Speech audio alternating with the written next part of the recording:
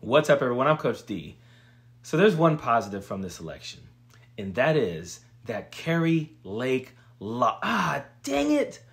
I guess we gotta wait until Sunday. Okay, after Sunday, we'll celebrate this, but let's move on.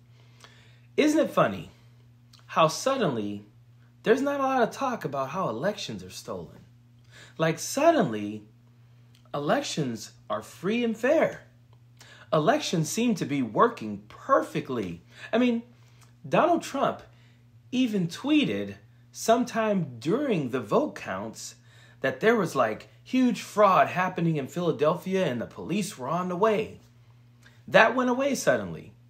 All of this talk about the election being stolen in 2020 and all of the people who say elections just aren't free and fair, there's so many people who question elections, suddenly they're not doing that anymore.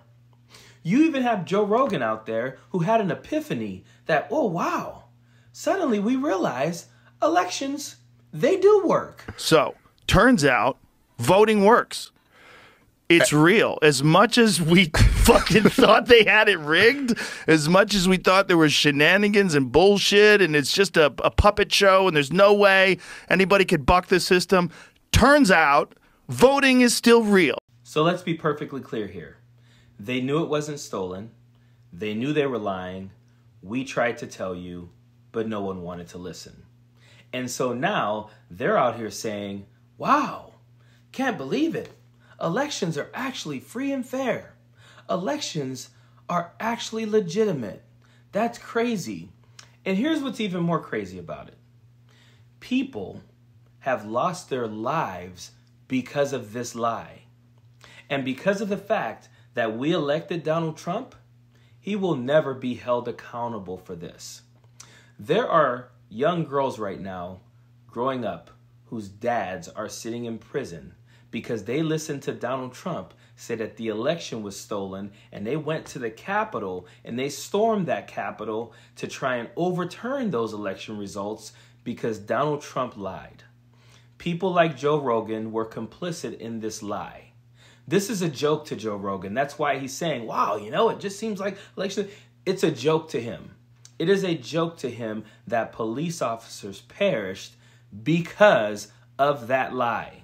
There are young girls and boys right now growing up without their fathers and mothers because they're either in jail or dead because of that lie.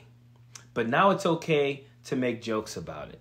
It's okay to joke about it being a lie while there are serious, like, residual effects of that lie being told. And again, because we elected Donald Trump, he will not be held accountable.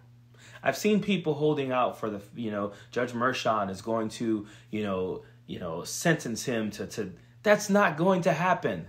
If you're holding out on that hope, it's not going to happen. The hope that we have, and this is something that I've been trying to say for a while, the hope that we have is to mobilize, is to get it together so that we can take the House and the Senate in 2026. If we don't do that, we give him a bigger majority. He gets two more years of doing whatever the hell he wants. We're going to go through two years of that for the most part. There's not a super majority happening. Like they're going to still have to work with Democrats in some type of way. They're going to have to get bipartisan support. And we know that there are also liberal, you know, more liberal leaning conservative um, Republicans out there as well that are in the House and Senate. But for the most part, with him having the House and the Senate, he's going to get to do a lot. If we don't mobilize, if we don't get it together and take back the House and Senate in 2026, he gets two more years of a pretty much lame duck term because there won't be any guardrails. There's no reason for him to care because he can't run again. We're going to see a lot happening. So, holding out hope for him being sentenced to prison, that ship has sailed. That train has gone. Okay? The hope we have is to get back the House and Senate in 2026. And that way, we have a better chance of getting the presidency in 2028. That is the hope we have. The rest of it is a pipe dream, and unfortunately, they are laughing at the fact that they lied and they got away with it. The only thing we can do to punish them is to take back the House and the Senate in 2026 and take back the White House in 2028. Period. Don't want no enemies or ops. Envy in they heart, I tell them stop. Vacation on the yacht.